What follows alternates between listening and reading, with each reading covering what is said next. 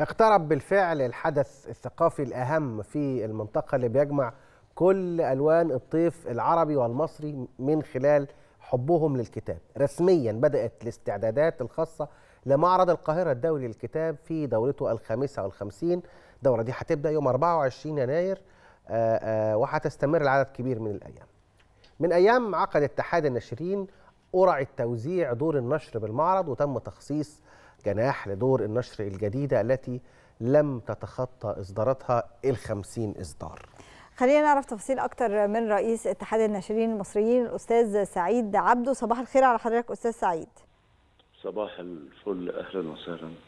صباح الخير عليك وعلى المشاهدين الكرام. صباح الخير على حضرتك. لما نيجي نتكلم عن جديد معرض القاهرة الدولي للكتاب مع الناشرين والاستعدادات اللي قام بيها اتحاد الناشرين والاتفاقات اللي حصلت بين المعرض والناشرين.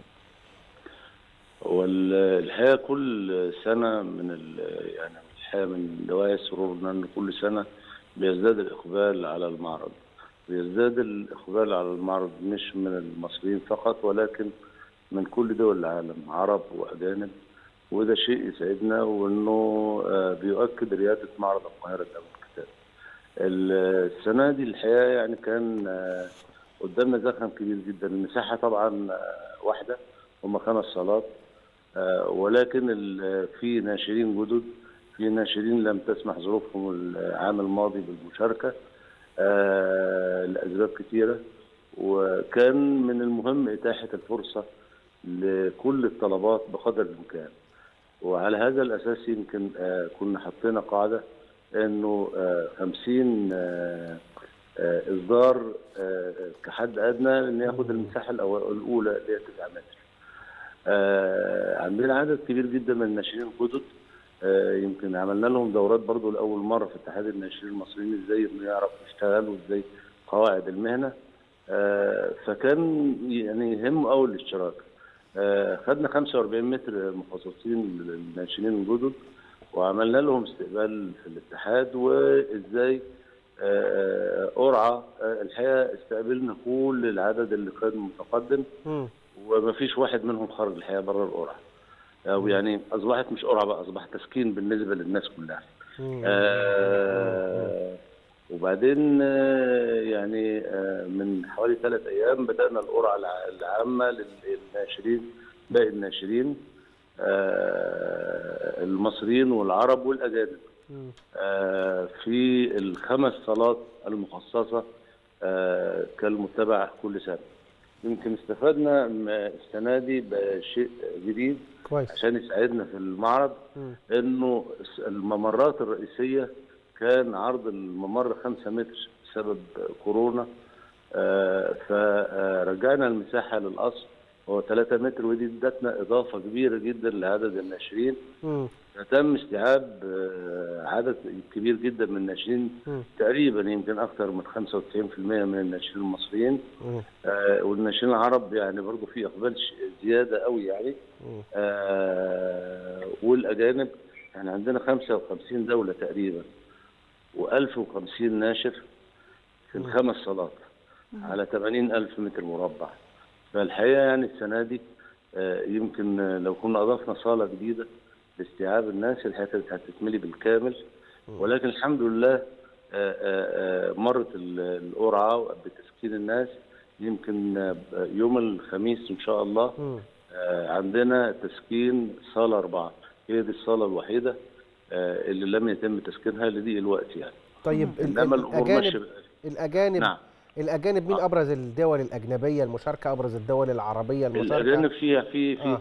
في عدد كبير جدا من الدول يعني عندنا النرويج عندنا فرنسا عندنا إنجلترا عندنا ألمانيا عندنا صربيا عندنا في طلب من أوزبكستان أعتقد إن شاء الله يكون موجود. في عدد عدد يعني الحقيقة كبير ومتنوع من الدول العالم يعني. العربية. الدول العربية. أوه. معظم الدول العربية موجودة. يعني عندنا المغرب الجزائر تونس يعني بالنسبة لشمال أفريقيا ليبيا آه، سوريا آه، العراق آه، اليمن السعودية دول الخليج بالكامل. مفيش ناشر في الوطن العربي إلا لما بيحرص على آه، تواجده في معرض القاهرة لأنه يعني يمكن آه، عدد الزوار اللي بيقوموا معرض القاهرة الدولي لا يتوفر لأي معرض في آه، المنطقة سوى يمكن معرض فرانكفورت آه، آه، آه، كاتساع معرض يعني.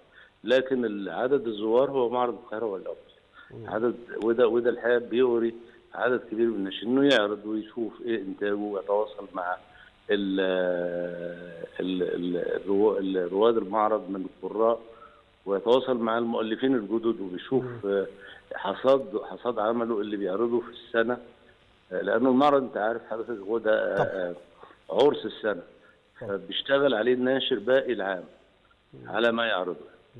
طيب الناشرين الجدد هل في مثلا اتفاقات بين الناشرين الجدد إنهم أكتر من دار نشر تتحد وتاخد بوث واحد ليهم مشاركة لو هم مش عندهم العدد بتاع الكتب اللي اتقل عن الأول يمكن كان الأول الناشر يبقى ناشر 50 كتاب دلوقتي ممكن إحنا عارفين إنه ينفع إنه ينشر أقل ولكن اللي عدد نشرهم قليل يقدروا أكتر من دار نشر حديثة تاخد نفس المكان ويبقوا موجودين في نفس الجناح؟ وانه إزاي يشارك بشكل طيب. إحنا عاملين لهم جروب وقلت لهم هنتلقى منكم المقترحات بتاعتكم وايا كان اللي يساعده على انه يعرض بشكل جيد آه، هنوفر له المكان. آه، عاوز نوفر له الإدارة إن إحنا نتولى البيئه وهو يساعد في في التزويد والكلام ده كله. كل سبل الحياة إن شاء الله هتكون ميسرة. لأن أنا يهمني يعني آه، حتى في ظل كل الأزمات دي آه، يعني البطل هو النشر المصري. لأن في إقبال طبعا. كبير جدا على صناعة النشر وده يوم بانها صناعة واعدة يعني قلنا الحمد لله آه، يعني لم تؤثر كل الأحداث على مم. صناعة النشر في مصر مم. يمكن اثرت ارتفاع السعر قلة أو عدد النسخ المطبوعة ولكن التنوع موجود والإقبال. و- وزيادة عدد الناشرين. ده شيء جيد يعني من الشباب يعني. بنشكرك يا أستاذ سعيد. أستاذ سعيد عبده رئيس اتحاد الناشئين المصريين. شكرا جزيلا لحضرتك. شكرا جزيلا يا فندم.